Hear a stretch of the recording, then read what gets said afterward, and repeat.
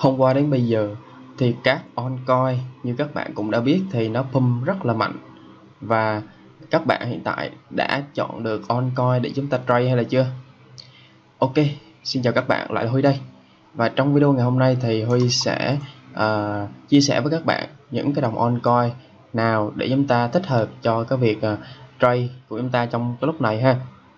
Nếu các bạn thấy video này hay và bổ ích thì hãy dành 5 giây để like subscribe và nhớ ấn nút chuông bên phải để không bỏ lỡ những video mới nhất của team mình ha.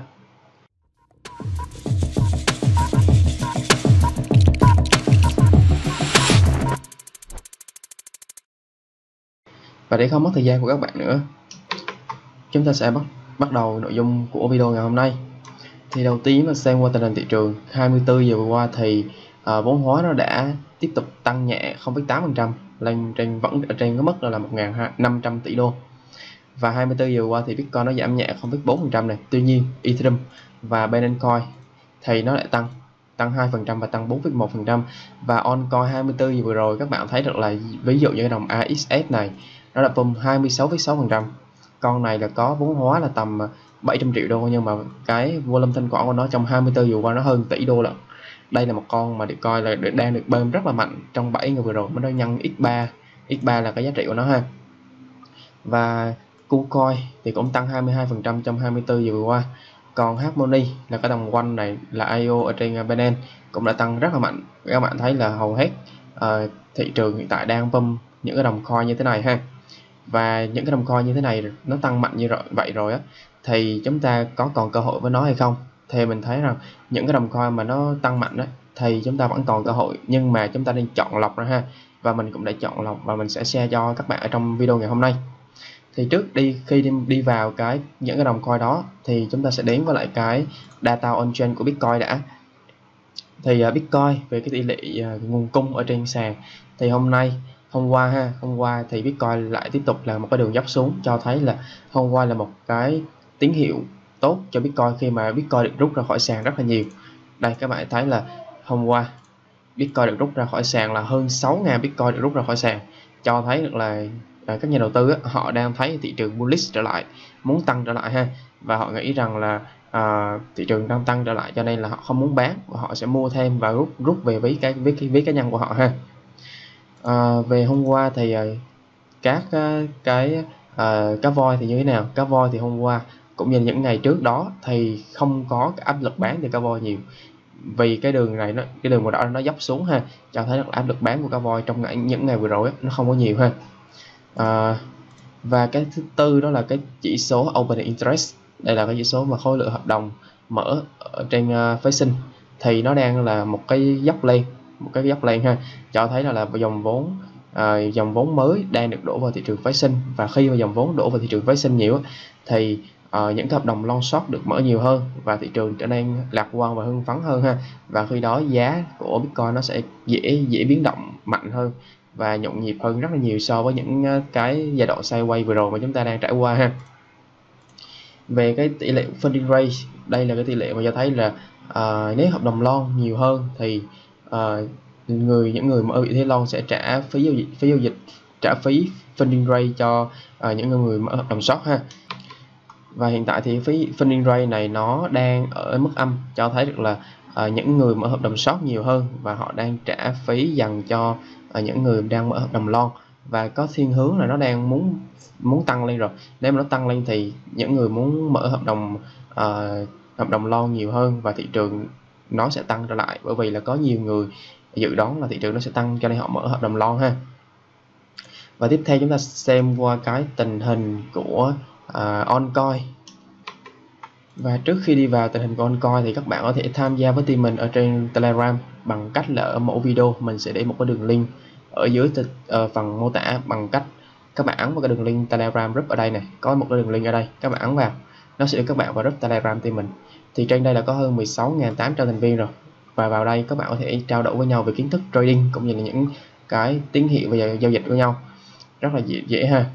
Ok. Uh, và chúng ta sẽ đến với lại cái uh, thị phần của USDT trước thì tỷ phần thị phần của USDT nó cũng chiếm vai trò quan trọng trong cái uh, sự tăng trưởng của oncoin và bitcoin. Bởi vì khi mà tỷ lệ USDT thị phần á, thị phần của USDT mà nó giảm đi cho cho thấy rằng là USDT nó đang được swap sang oncoin và bitcoin ha.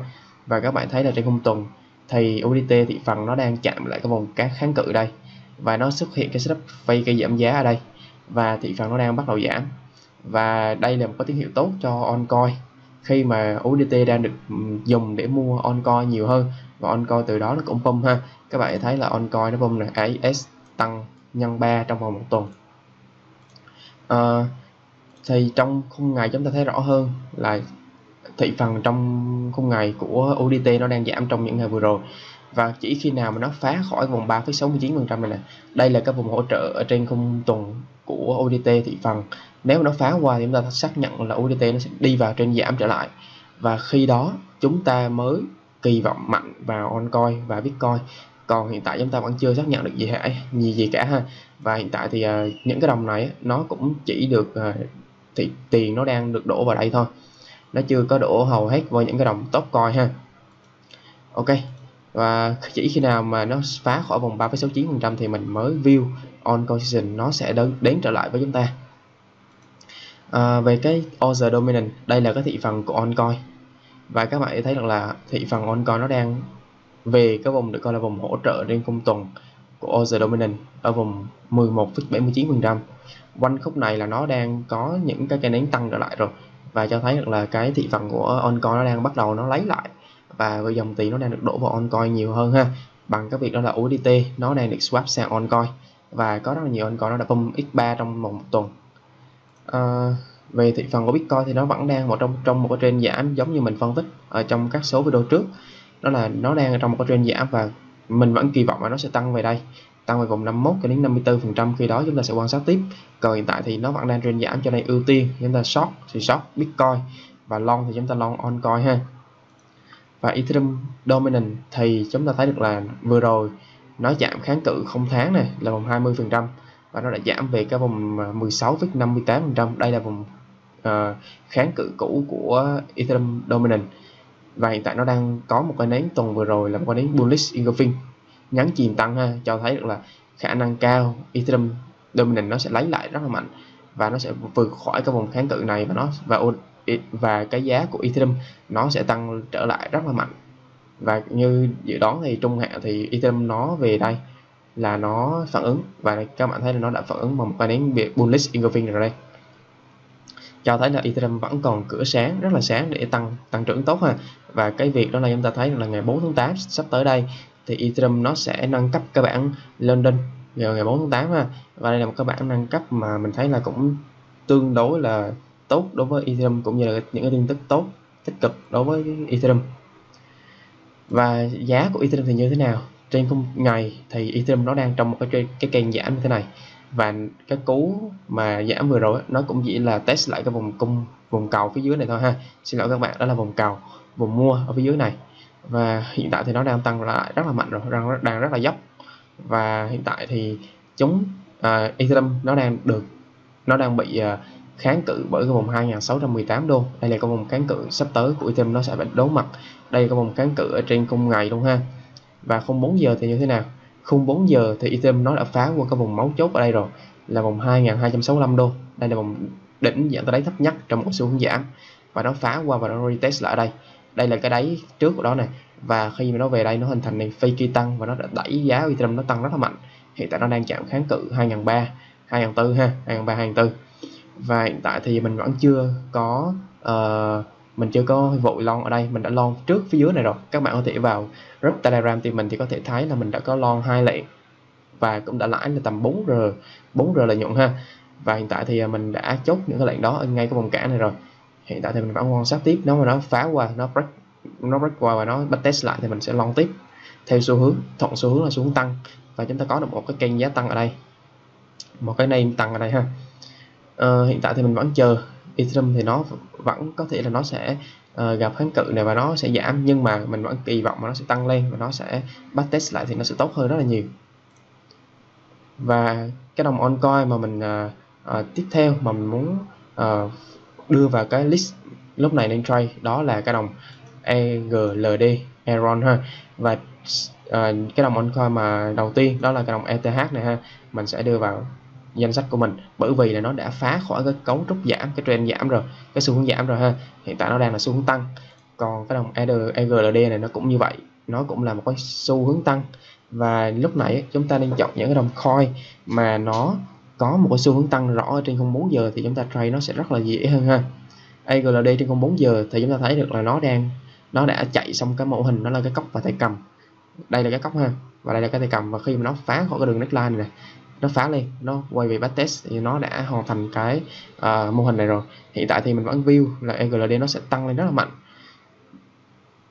Và hiện tại thì mình vẫn canh mua AGLD ở quanh cái vùng Fibo 90 cho đến 94 đô. Đây là hai cái vùng mà chúng ta sẽ quan sát để chúng ta buy long lên ha. Và stop loss á, thì chúng ta nên đặt ở phía dưới này nè. Phía dưới này ha tầm vùng ờ, 87 đô tầm 87 đô. Và chúng ta sẽ canh đó để chúng ta trade uh, trade spot hay là trade margin cũng vẫn ok. Đối với cái đồng AGLD này Aeron này ha. Đây là cái đồng coin mà mình thấy là nó đã đi vào một xu hướng tăng rõ rồi. Khi mà cái vùng máu chốt là vùng 81 đô này nè nó là cái vùng đỉnh nhận thấy thấp nhất thì nó đã phá qua và nó thử lại rất là mạnh ở đây. Tạo một vùng build up ở đây rất là tốt và nó sẽ bung lên tích lên tiếp ha.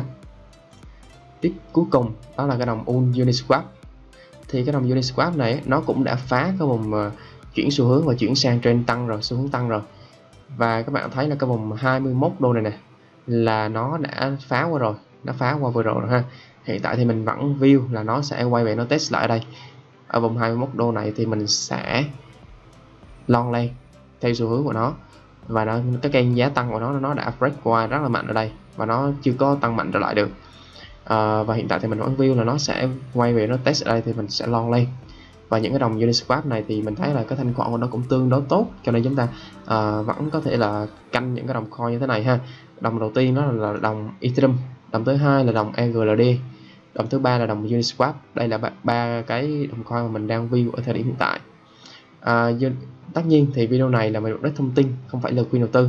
Và các bạn cần lựa chọn tự lựa chọn quyết định kỹ lưỡng dưới mọi sự lựa chọn của các bạn ha. Không phải à, không ai có thể là quyết định thay các bạn cho nên là các bạn tự chịu trách nhiệm dưới mọi sự lựa chọn của các bạn ha. Ok à, và ba cái đồng oncoin lúc này mình à, đang try đó là cái đồng ethereum AGLD và Uniswap. Các bạn có thể uh, thắc mắc cái gì thì các bạn có thể uh, comment phía bên dưới video này để mình có thể giải đáp thắc mắc cho các bạn ha. Và video này của mình đến kết thúc. Và nếu các bạn thấy video này hay và bổ ích thì hãy dành 5 giây để like subscribe và nhớ ấn nút chuông bên phải để không bỏ lỡ những video mới nhất của team mình ha. Không uh, xin cảm ơn tất cả các bạn đã theo dõi video của mình. Hẹn gặp lại các bạn ở các số video tiếp theo.